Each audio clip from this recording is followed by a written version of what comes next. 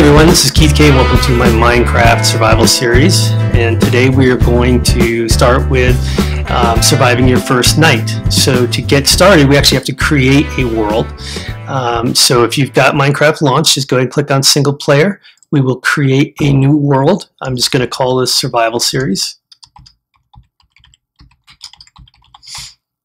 Okay, and then there's a couple different choices you have here for game mode. Survival is the most common and what I think most people typically play. Um, that is that you can explore, craft, gather resources. Um, you have to address hunger and health and, and those sorts of things. But if you die, uh, you will respawn. So if you've got uh, several days or even hundreds of days into a world, um, you won't lose everything. On the contrary, hardcore gives you just one life. And um, if you die in hardcore, that's it. That world is locked and you'll have to delete it. I typically don't play this, but I do actually enjoy it when I'm playing Survival Island style. Um, I find that that really just kind of adds to the challenge of a Survival Island world. Lastly, there is creative mode, um, which allows you to uh, build whatever you want. You have unlimited resources. You don't get attacked. You don't have to deal with hunger and so forth. Um, and that can be fun if you really want to use Minecraft more for a building uh, tool and, um, you know, try out building different types of buildings. It's also really excellent, um, you know, when you start to play around with redstone circuits, if you want to uh, work out your circuitry in creative mode first um, before you build it in a uh, survival mode game, that's the way to go. A couple other options. I usually don't mess with any of this, especially early on. Um, but the, you know there are some things you can play around with. You can turn off the generation of structures, but you're going to want those temples and villages and so forth.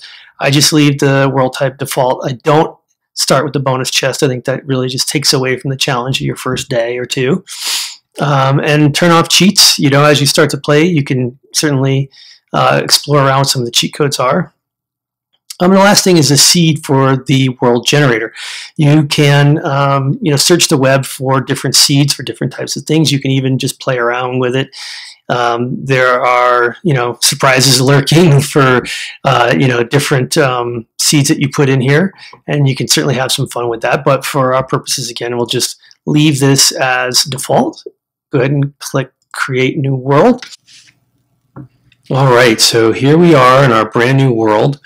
Uh, it may take a minute to spawn in. the first thing we've got to deal with is getting some shelter because once the sun goes down, uh, things can get pretty nasty. All kinds of monsters will come out and try to kill you, blow you up, shoot you with an arrow, um, suck your brains out. So we have um, we have 10 minutes of daylight each day, uh, followed by 10 minutes of night. And until we build a bed that we can sleep in and bypass the nighttime, um, we're going to have to uh, find a way to stay safe for 10 minutes. So we have the sun coming up over here. It's going to trace an arc across the sky and end up setting over here. Uh, so that's our clock. We can keep an eye on the sun to make sure that we are not wasting too much time. Now the first thing I like to do is a quick reconnaissance around to see you know what we have in the area nearby and as I'm doing that you'll see I usually run around and uh, just hit this grass I just hit it with the left mouse every so often it will drop a seed as you see here okay and seeds will be important later when we need to make some food uh, speaking of food the other things we want to kind of look for are any food sources so whether those are pigs or chickens um, we can fish eventually, but we're going to need some string for that. But, you know, primarily what I'm looking for are exposed resources. Sometimes you'll have uh, some coal or some iron just kind of sitting on the ground just for the taking. Okay, and so we'll do a quick spin around the nearby area. We're not going to go too far. I made this mistake early early on, the first couple times I played, of getting too far away from where you first spawn. Where you first spawn is called your spawn point. And if you die, guess where you're going to reappear? You're going to reappear in the spawn point. Oh, look at this. All right, well, we'll come back to this much later. We've got some wild wolves. We can tame those guys later to Yeah, how you doing, buddy? Uh, we don't have what we need to tame them, so we're just going to leave them alone.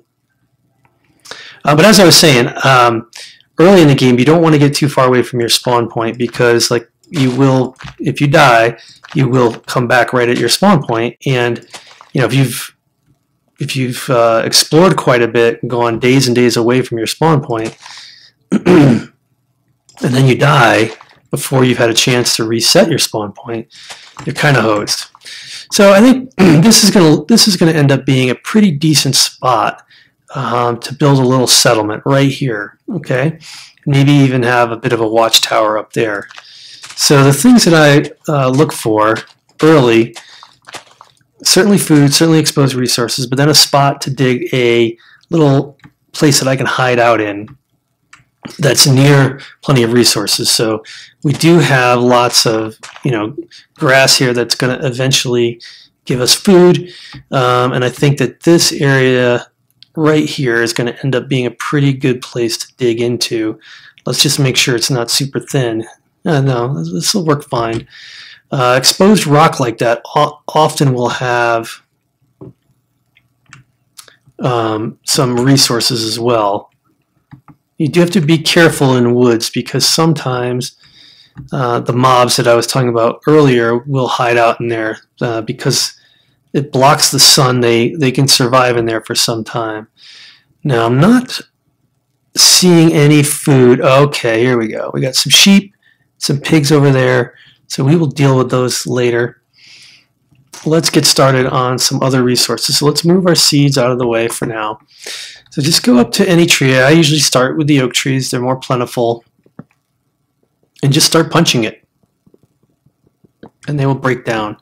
And you're going to walk up to them and grab them. Okay, so here we have two oak wood. Pick them up. And you can see you equip them with your mouse wheel uh, and then just punch up the rest of this tree. And you can see the, the rate at which the, they kind of decay. All right, sun's straight overhead, so it's noon. So we do need to stay focused. So let's not go too far. Let's just go to the next tree. Okay, you see the rate at which that kind of breaks up? Once we've got a handful here, now let's just um, hit the E key and we'll grab our oak and you see you have a small crafting area up here. If you put four wood of any, sorry, not four wood of any kind, I'm getting ahead of myself. If we put all of our wood uh, in one spot, it will, for each one of these, we'll get four oak planks. So, so you get four and then four. You can, you can just continue to hit the right arrow key until you get however much you want. Um, or you could hit shift and left arrow key and pick, just convert all of it um, without going through that process. So now if you put four wood planks here, um, wood of any kind, we happen to have oak, you'll get a crafting table. The crafting table is going to be your best friend. That's going to allow us to create many, many more things. So first, let's just drop a couple planks in each one, and you'll see when you put two, two planks in a configuration like this, for each you know, one of these, you'll get four sticks. So now we have two. So we'll get four sticks, eight sticks, right? So now um, let's craft some tools. The first one we'll craft is an axe. So two like this is a handle, and then you have some configuration here that gives you different tools. So first we'll craft our axe. That'll get us going. Uh, we are going to need also a shovel, which is two sticks and a plank. And while we let's just go ahead and make ourselves a pickaxe which we'll need to break up rock and other hard materials. All right, so this gives us enough to get started. Let's chop some more trees down. And I would just kind of stay, you know, if you have a bunch of trees co-located, stay in that area so you're not running around too much. And you can see how much faster these break down. We didn't actually finish this one. Now, one thing that will happen once you start to, once your tree starts to break down, sorry, once you've chopped the whole tree down, so all of the wood connected to the leaves here, the tree will actually start to break down. And if we're lucky, we may get an apple or two.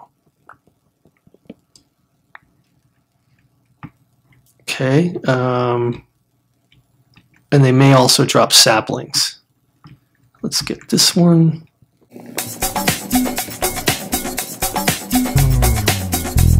Pretty soon we're going to need to check on the time. We don't want to be working in the dark. Uh, here we go. So here's a sapling. So you're going to want to pick those up, especially early in the game. Um, you can use those to plant trees closer to your base. Okay, let's see. Here we are. Uh, yeah, we have to get moving soon. Um, you can also burn them if it comes down to it. That's probably just a flower. Oh no, we did get an apple. Excellent. You can also break these up a little bit yourself. Uh, I haven't found anything that works.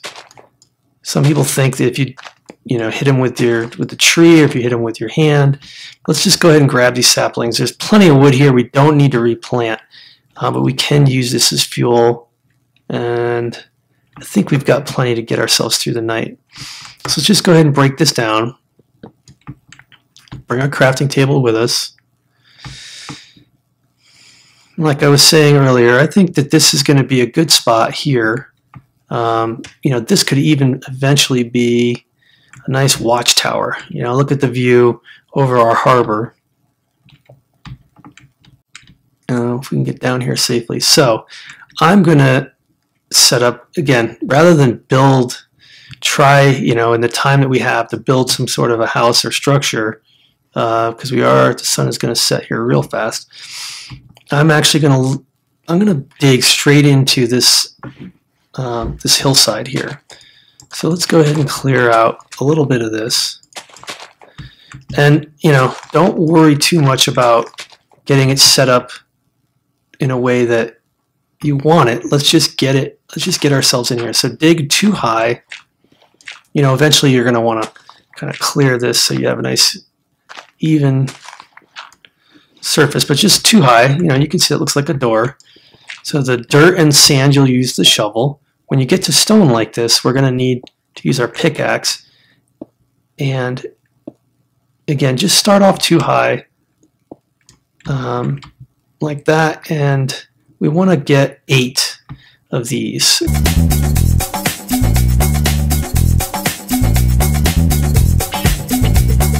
Now you can do one of two things. You can actually close this up.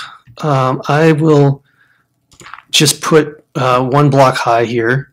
So let's get our crafting table, and we'll move these eventually. So we'll get our crafting table, grab our cobblestone, which is what happens when you mine stone. It breaks up into cobblestone.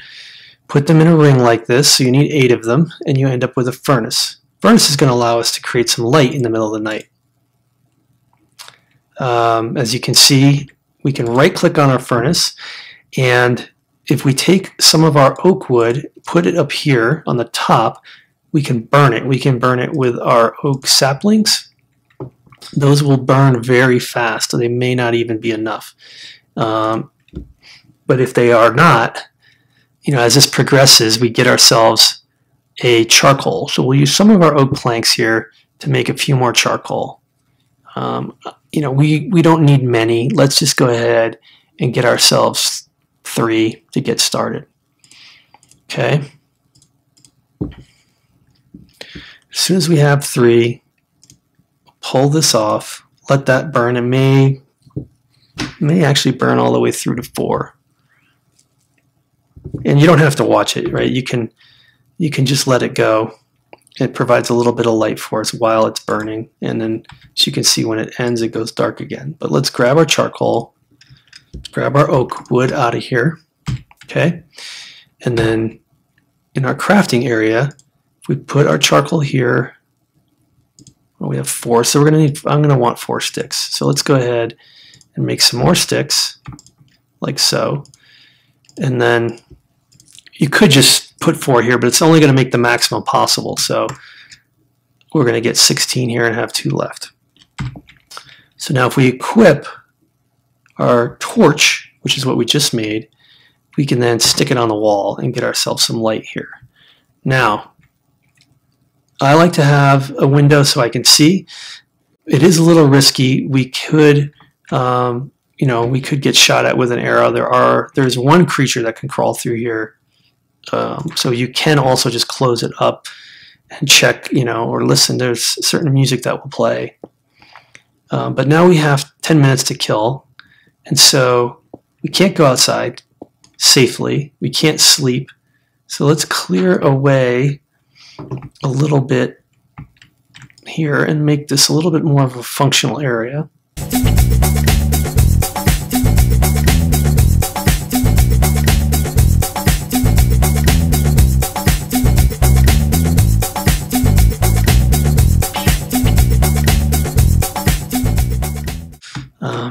You know, two high is perfect. That will that's as much as you need for the size you are. Um, you know, you may want to go three high. That actually looks a little better. And um, when you start to sleep, you'll be better off. Now we have some coal, which is great right here. We've stumbled right into coal. So we won't have to make any more charcoal, which certainly works, but is kind of a pain in the butt. Now you'll see as we use our tools, they start to degrade. Um, and when they are empty, when that red bar or the green bar gets all the way to the end, they will break and they will be um, they'll be gone. So you can repair them if you combine two that are, um, you know, sort of uh, low. You can combine them and you'll get something a little better than the two of them, but a wood pickaxe is not all that useful, so let's just go ahead and burn it up.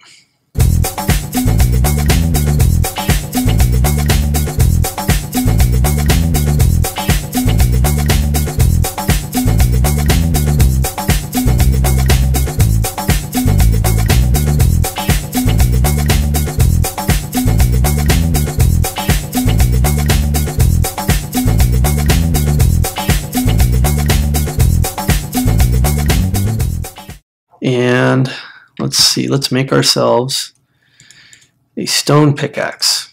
Okay, so just like the wood pickaxe, you put two sticks, but this time you put three cobblestone across the top and you get a stone pickaxe. It's going to be a little more useful. Well, let's go ahead and burn this up. Um, see, now it's gone. We can pull this down.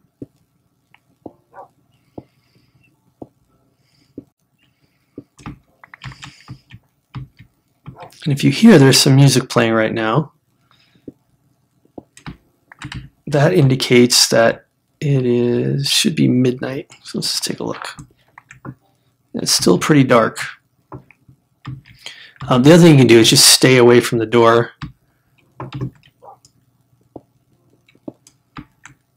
All right, so I'm going to build myself a little bedroom. I always do.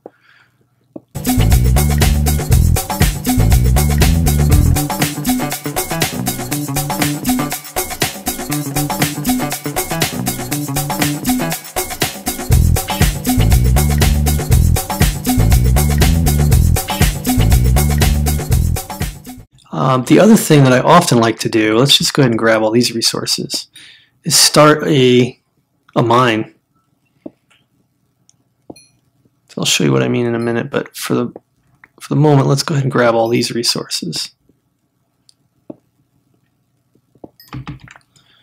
Now if we imagine that we may be down here for a while, or that let's say we can't find sheep and we have to come back a couple days in a row and kill 10 minutes while it's nighttime, you know, one thing that we can do is just build a mine and look for, you know, the deeper you go generally, the better resources we're going to find. So, um, now as you can see, as you get further away from a light source, oh, what's that? I think I see Spider? Maybe not. Um, I like to make my mines three wide. So let's just imagine that we'll put a door here.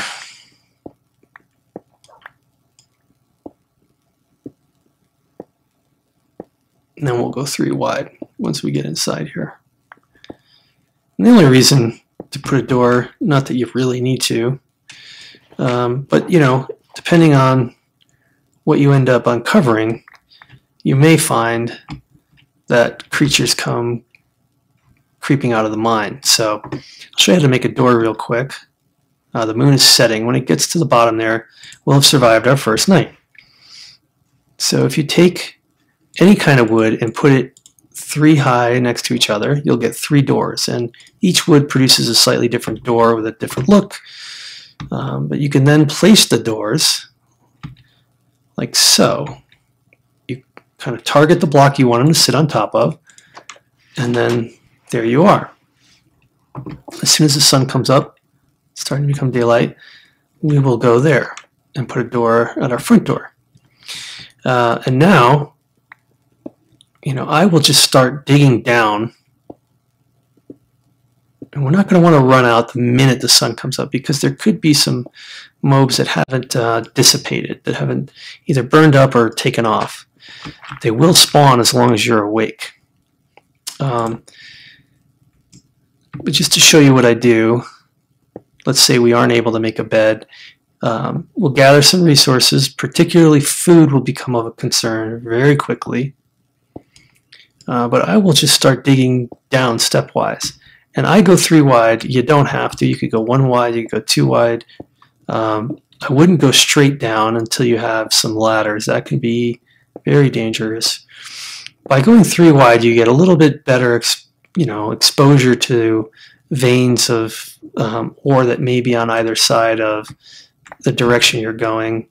Uh, if you just want to make some progress early, you can go kind of one deep straight down. Oh, there we go. Look, more coal. This is exactly why you do this. As you go further and further down, you will find more and more resources. Um, and I just burned up my pickaxe, so it's a good time to come up and see what the weather's like. Now close the door to your mind before you take off, because if you did open up a chasm to something, um, could be a problem. Now, before we go out, one other thing that's vital to have. Let's go ahead and make a few more sticks and put one stick on the bottom here and put two stone. Right? You can see in a very short time I've accumulated a lot of cobblestone that we can build all sorts of things with. Um, but you are going to want a stone sword. We can't make uh, any other kind of sword just yet because we don't have any other material just yet, but I wouldn't go back outside, at least without the stone sword. So that if we run into any trouble, and if we hit the number one, you want to run out and you want to look around really quickly to see if there's any trouble. All right, so we've made it through our first night. Let's go ahead and put a door here so we can not have to worry about blocking it up and unblocking it. And then the other thing you're going to want to do, or at least I do, is let's put some torches up high so that as it gets later and later, if we are running around, um, let's go up here actually. If we're running around and we've maybe lost our way a little bit, um, you know, uh, need to find our way back, that we can have a little place to look at the symbol there. So, sorry, not a symbol, but um, you know, like a beacon. There we go. That's what I'm trying to say. Uh, you know, say we're way over there, we'll be able to see this um, and make our way back. It's not. That's not going to be a really strong beacon. We're not going to want to go too far. Uh, the other thing let's check out is uh, where were we before? Let's see if any other apples or anything fell. They may have. Yeah, they just despawned. They didn't stick around. All right, so we're going to need food. That's going to become a big problem for us. So let's go just show you how to grab some food. So we can keep chopping trees down. Maybe they'll drop some apples. Maybe they won't. But if we take our sword, If it's going to take a couple hits. He's going to try to run away.